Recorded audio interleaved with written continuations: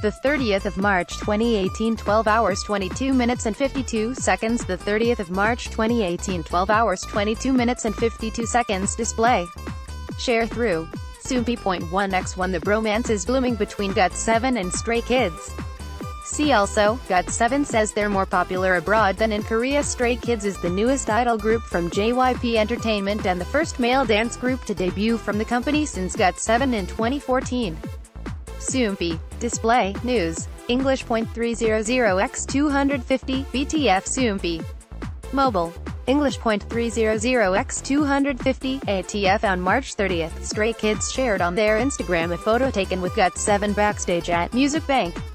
In the caption, they wrote, All of this is just the beginning. We gave our seniors GOT7 our album and we received their precious album in return. In the photo, both groups show off their exchanged albums and Jackson in particular shows his love for the younger group. Earlier on the same day, Hyunjin posted a photo he took with Jin Young and wrote, Hello, this is Hyunjin. Today on Music Bank, the GOT7 seniors helped us out a lot.